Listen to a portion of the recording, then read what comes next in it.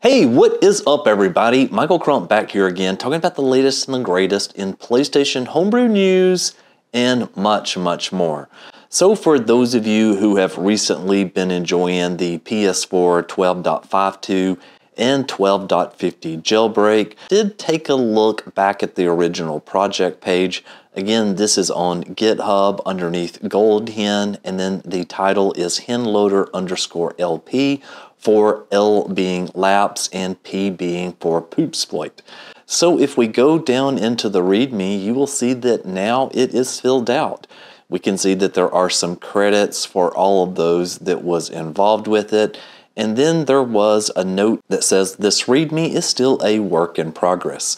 Any pull request is welcome, but please note that it may take some time for us to review it Thanks for your patience. Now there is some guidance here. It says if you're updating firmware to 12.52 and have used BDJ or Lua before on lower firmwares, you must have the latest GoldHEN on a FAT32 or exFAT USB. Partition type must be MBR, and on large USBs, you will probably have to format it with a tool like Rufus and GoldHEN needs to be named to payload.bin. So again, what that is stating here is, is that you can use a USB drive in order to update it.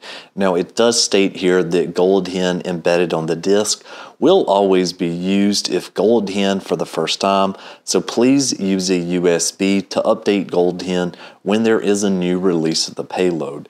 The payload is copied to the slash data partition of your PS4 and will be used from then on. And it also states that hen loader can be used with any other hen that you prefer.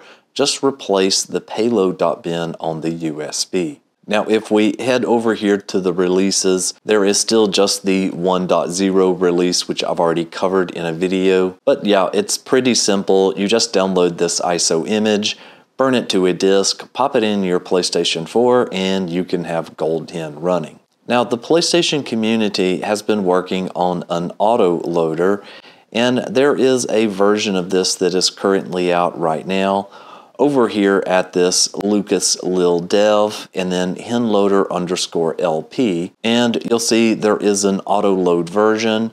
Now with this version, you do not have to select between lapse or poopsploit. It will just do it automatically there for you. Now with several folks in the community taking a look at this, there has been a couple of new versions that folks have been working on, such as this one, which says that the autoloader poops is stabled, removed the AIO patch and lapse.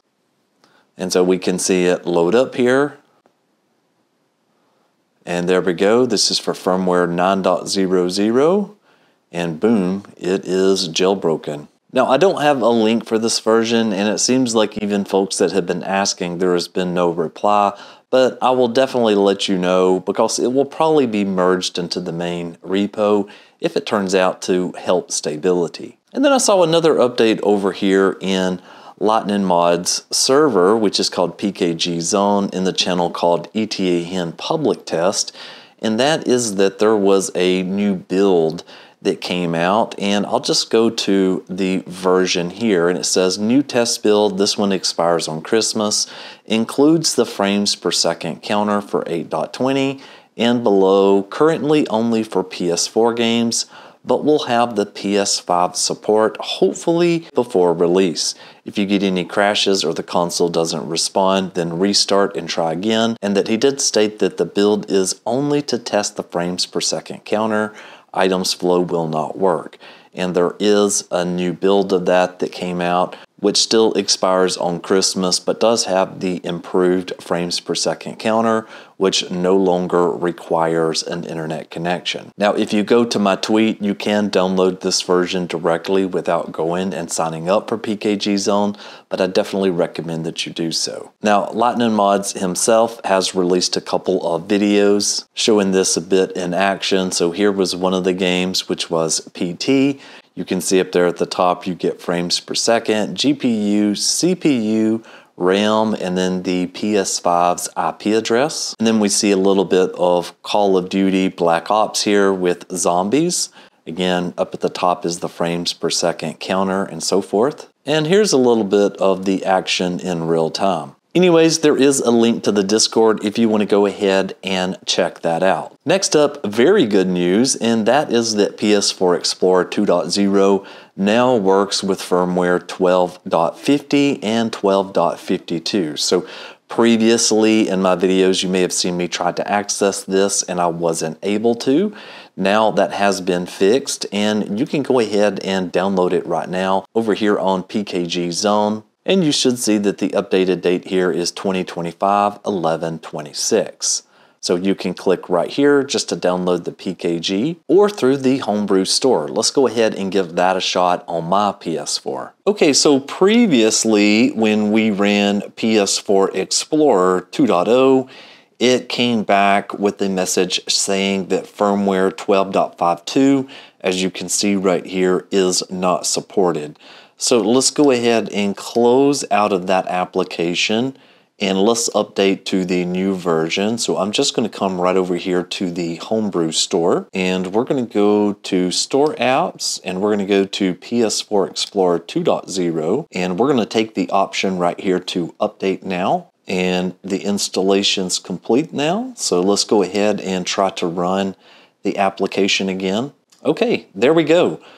Firmware 12.52. We now have root access as well as we can go into the sandboxed mode. We'll go ahead and go into the root access. And there we go. All of our files and folders are just like they are supposed to be. And now that application is working on 12.52. Next up, I've been watching the Netflix-N-Hack repo for quite some time now, and I do have a video showing you how to get up and running with this. But one of the things that I noticed was, was that there was a PS4 folder that appeared, and as you can see, it shows right there as yesterday. But if I go to the PS4 folder and I scroll down here, you can see that there is some information now on how you can use this as a user-land exploit. Now they do state here that Lapse is a work in progress, and they do state that the PS4 version requires very specific circumstances to work and that there are some workarounds located below. It looks like you'll need Netflix installed on your PS4 below the latest version. So if you have an existing jailbreak, you can just simply install the vulnerable version in your region, or if you are on the latest firmware, you can downgrade Netflix via the man in the middle attack by downloading from PSN. But again, you won't be able to jailbreak until a new kernel exploit releases. So this would be for maybe some of those on 1302. Now for the exploit, you would obviously need a PS4 on versions 9.00 all the way through 12.02. And what they state here with using this is, is that if you can't use BDJB or if you have been stuck using ppPwn, then now you should be able to use Netflix-N-Hack, especially as this becomes more of a working solution instead of a work in progress. Now, I won't be going through all of the instructions here on downgrading Netflix and installing this from scratch, but as things develop, then I will definitely be taking a closer look at this. Next up, I saw this PS5 exploitable firmware research and news website. And this is by the developer Master Zero, or I believe that that's what they go by. But they have the different types of PlayStation 5s here. So you've got a digital one here, you've got a disc version here. And if it is in green, then that means that it is confirmed working. And so you could see right here, if you have a 1.00 through 5.50, you could use WebKit, Lua, Y2JB or BDJB versus you know going to something like 8.00 to 10.01 where we don't have the availability at least at this moment to use WebKit we can use one of these other versions.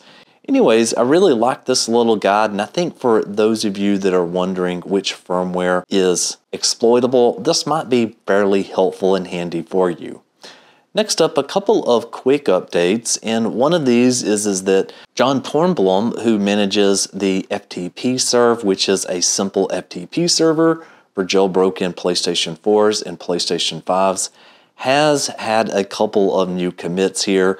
And mainly you can see that the commits were cosmetic related and a self to elf speed improvement. And there was a couple of those commits recently added in here. So anyways, the FTP server is always getting a bit better. And then there was another smaller commit over here from Al-Azif, and it was for the remote Lua loader fork that he has made from the original repo. And if we go into the commits here, we can see that added 5.x support, added 6.x support, 7 and 8 X support was been added in just the last couple of days here. Now, I know a lot of you may have started to move on from the remote Lua loader, but still pretty cool progress nonetheless. And there might be some scenarios where you might want to use it again. And then the last thing, and that is that the auto jailbreak tool that Viktorious has been building, there was a new release that came out and that puts us at version 1.21. So we can see in the changelog here, added different PKGs to the disk that can be installed through debug settings. So this does include the YouTube app. So for YouTube jailbreak, itemzflow 1.12, PS5 Explorer, and a couple of other packages, as well as updating the web server and the FTP server to the latest versions. Okay, so that is going to do it for this one. Thank you so very much for watching, and I'll see you on the next one. Michael, out!